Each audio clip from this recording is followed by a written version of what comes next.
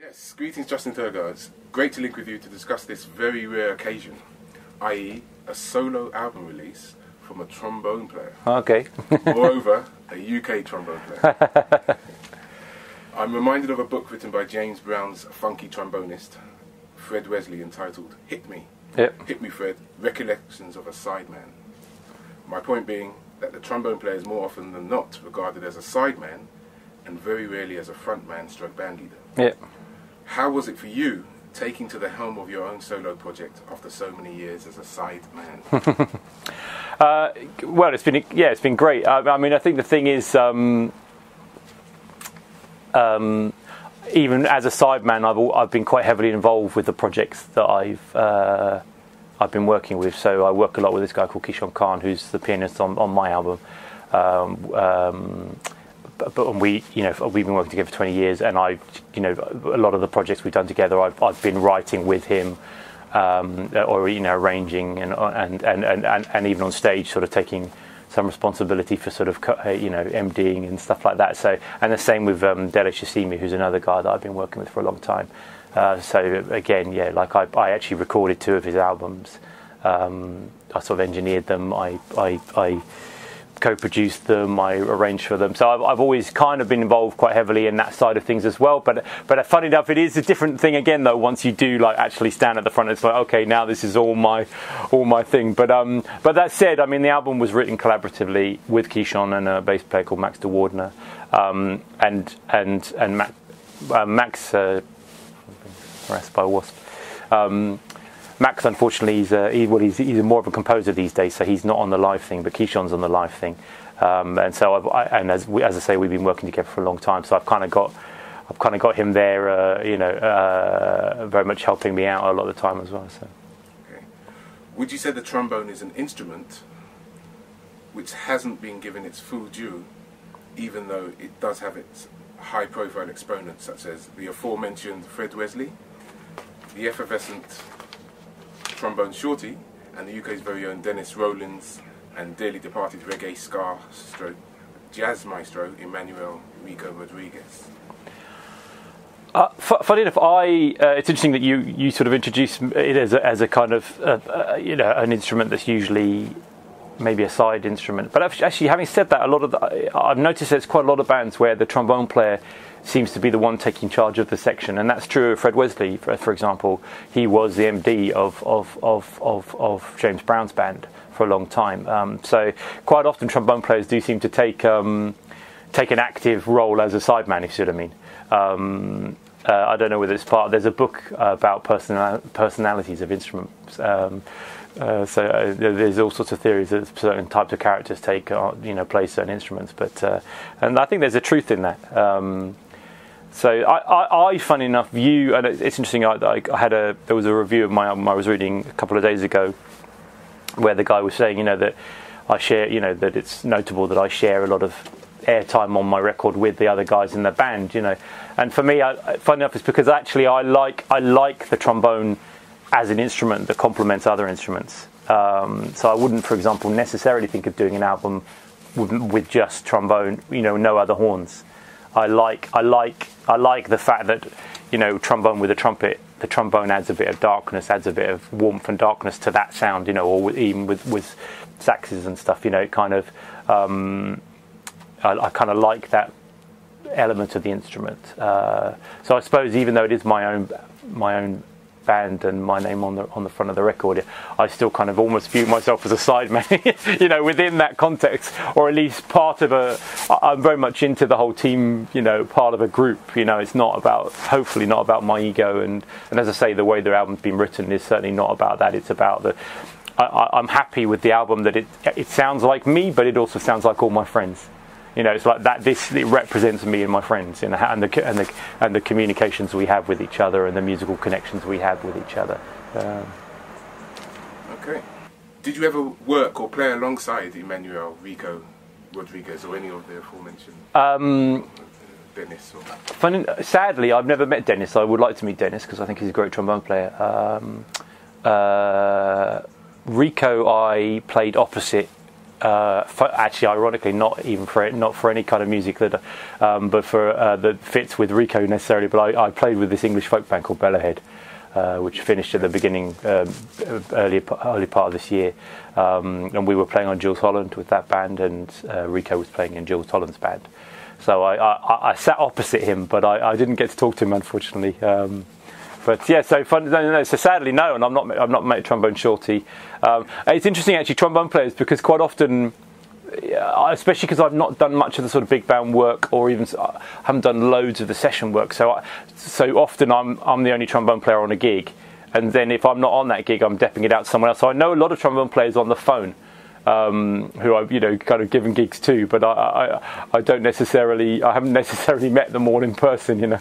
Um, although eventually I guess you do meet meet them most uh, you know uh, uh, at some point but um, but I suppose I so I know, I know, a lot of the guys that um, yeah I would, I would I suppose that I would use as a replacement for me um, but I haven't uh, yeah I haven't sadly as I say I would like to meet Dennis Rollins but I haven't met him.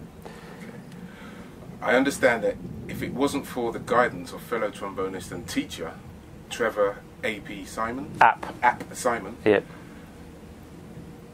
when you were 8, 13 ish, yep. Uh, we may not be having this conversation.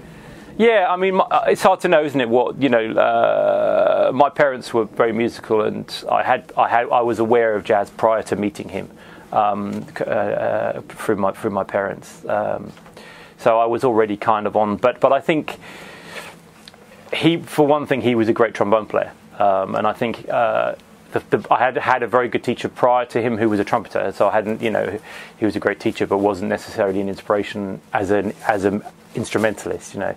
Um, but so Trevor was the first trombonist who I was like, wow, this is the this. I mean, I enjoy, I like the instrument already, but it's like, okay, this is. I mean, I play the same trombone that he played, and I kind of almost model my sound a little bit on on his sound, you know, a slightly more fat, slightly more. Uh, yeah, rounded sound, um, because uh, yeah, because he was just a great trombone player. Um, but he did definitely introduce me very much to the idea, you know, sort of improvisation, uh, but also actually uh, different types of music as well. Because he he came for a year to work at the school. The school that I was at had a policy, had this program that they did where they kind of got postgraduates and they did a year's work experience basically, and so they really threw themselves into it for a year. And he started uh, like a sort of trad jazz thing he started a calypso band. He started a German stomp band. You know, he did so. He did a few different things. You know, and so uh, and as I say, got him got me into improvising. Um, so I think uh, the improvising thing I found exciting. Playing jazz I found exciting, especially as a trombone player. You know, I enjoy listening to classical music, but um, but actually the role of the trombone in classical music is a bit limited. Uh, I remember uh, seeing a workshop from a great uh, classical trombone player called Christian Lindberg, who's one of the few classical trombone players who's making a full-time career just doing solo trombone work.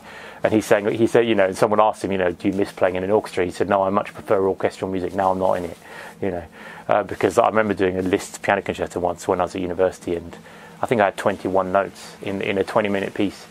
Um, and uh, they weren't great notes. They were, they were okay, but they weren't the best notes. So I, I, you know, so yeah, I, so he kind of got me into seeing the creative potential of, of my instrument, um, and also actually seeing someone being a professional musician and you know and doing that thing and actually making a, a living and out of being a, a, very creative trombone player. So I suppose was, he was an inspiration from that point of view, definitely, yeah. How intrigued were you about the trombone at that time, and how instrumental was Mr. Simon in your progression with your, with the instrument?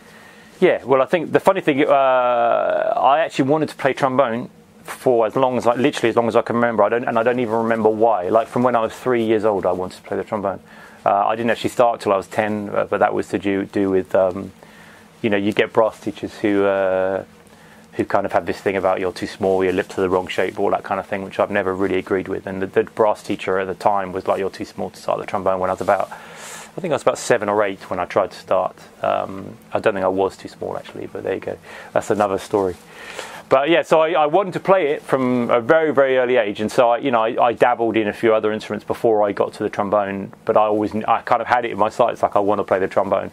Um, so the minute I picked up a trombone, it was like, it was kind of like, uh, you know, uh, there was a connection there. I think because I'd been wanting to do it for so long. So I got on with it very quickly. So I was already I was already very much on the path of, of enjoying being a trombone player. But uh, but as yeah, I think Trevor just kind of um, he. I think the improvisation thing that he introduced me to that's a big thing because you know there's a whole creative element of imp- with improvising that it just brings in a whole new way of approaching your instrument. You know you can and and you you can not only in terms of having more to do and having more of a role in music, but also actually you can have your own character and your own personality in the music as well. So from that point of view, he, he was a massive influence, I think, in opening my eyes to, to the potential of a trombone. Yeah. So, did you listen to specific trombone players in your formative years in the Thurgur household, or just jazz artists in general?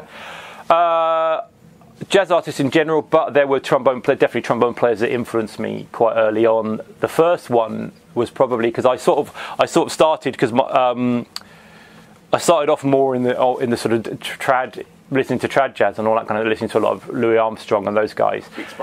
Yeah, those guys exactly, and and. Um, Fats Waller, you know, uh, and uh, I loved. There was a particular trombone player who worked with Louis Armstrong called Trummy Young.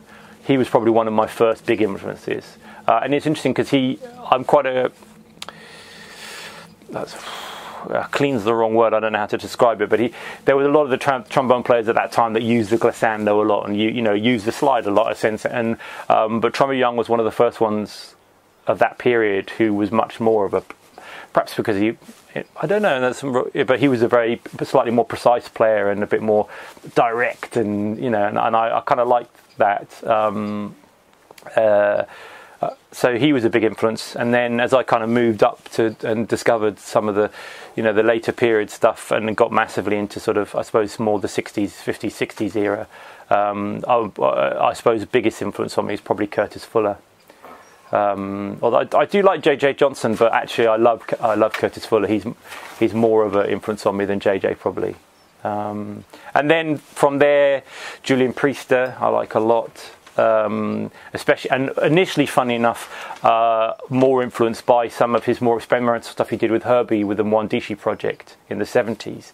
Um, and then, uh, so yes, you know, he had an influence on me there, being a little bit more kind of off the wall. But then I later came across him playing uh, on some um, early '60s um, Freddie Hubbard albums and stuff, and so yeah, he yeah, and I liked what he was doing on that. So Julian Priester was definitely an influence. And then, and then, as I say, I kind of got more and more modern. So probably the other big influence, well, you know, Fred Wesley, we've already mentioned that. He's definitely a big influence on me. But also a guy called Josh Roseman, uh, who was the trombone player from uh, for Groove, a band called Groove Collective. Um, he's a, I think he's an absolutely amazing trombone player. Uh, um, so yeah, uh, I suppose those, those, are kind of the key in, um, trombone players. And then, and then when I got in, started getting more into the Latin thing. Then people like Barry Rogers, who was the trombone player for um, Eddie Palmieri's band. Uh, so a bit of both. Yeah, I mean, I always, you know, I, I, I love my instrument, but I love other instruments as well. You know, so I was always listening to, uh, you know, I mean, I was when I was a kid, you know, I was massively into Wayne Shorter, massively into Herbie Hancock, Miles Davis, Lee Morgan, all those kind of guys. So, um, uh, yeah, so I wasn't necessarily ac- actively seeking out trombone players, um, but obviously a lot of those guys use trombone players. You know, Curtis Fuller was very much a part of that Blue Note scene, so he was on a lot of um, Art Blakey's albums and all that kind of stuff. So yeah. Your debut solo album, No Confusion, is out and ready to be consumed by the masses. Why the title No Confusion? And why the decision to release a solo album now? Um, it's quite funny because actually I've been making the album for 12 years, uh, which is maybe something I should admit to. Maybe I can spin it into a story about how, you know, the, the, the, uh, some amazing journey I went on. But actually, there's a, a truth in that. I think, although I did start it 12 years ago, it, there's been a progression of the album over the years, and I think perhaps now I've, I perhaps I feel more ready to actually front a band now than I did 12 years ago. So maybe the timing of it was um, was was from that point of view. Uh, there was an element. I mean, I slightly, uh, I, having said I took 12 years, I hurried. I hurried getting it out in the end and getting it finished because of the uh, this this band Bellowhead that I had been very busy with coming to an end. Um, so actually, this is quite a good time because a lot of people were asking, "What are you, what are you doing next?" kind of thing. Um, and so it was quite a nice to be able to say, well, I'm putting out my, my own album. Uh, um, and doing it, doing my own thing, you know. Um, but I think, I, you know, I was always very influenced by, you know, the my inspiration. You know, it's interesting.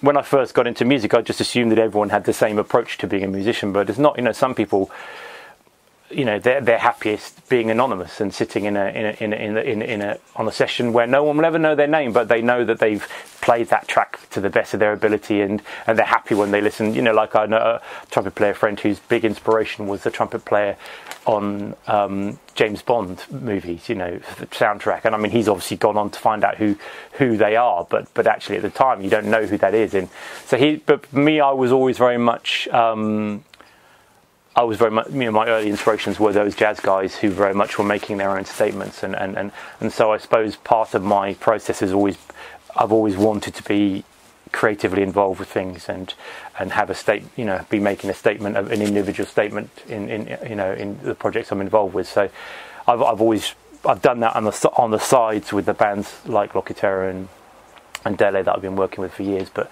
but so it just seemed like a natural progression, I suppose, to go on to doing my own thing.